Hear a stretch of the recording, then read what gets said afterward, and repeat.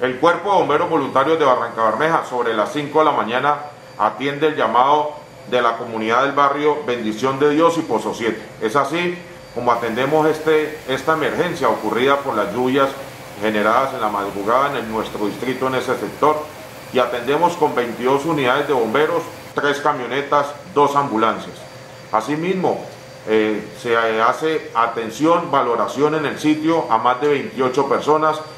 se valora y se traslada a una eh, materna, el cual se lleva a un centro asistencial de la ciudad,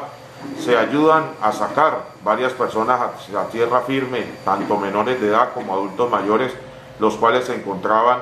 eh, por parte de sus señores padres en los techos de la vivienda, evitando que la fuerte corriente que había en este sector se llevara a sus menores. Es así como procedemos inmediatamente a darle rescate a estos menores de edad, a los adultos y mayores de edad, los cuales quedan en tierra firme. Hacemos un barrido, se informa al Consejo Municipal de Gestión del Riesgo, los cuales llegan y hacen también todo su respectivo análisis y valor del incidente. Asimismo, atendemos también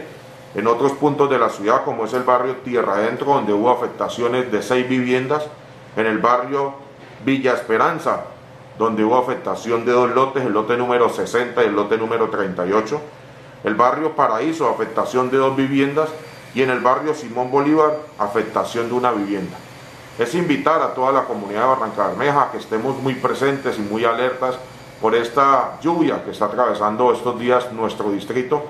y si vemos que hay algún riesgo es colocarnos en un lugar donde evitemos que nos llegue a suceder algo. Atención de todos los incidentes atendidos por personal del Cuerpo de Bomberos Voluntarios de Barranca Bermeja en la mañana de hoy.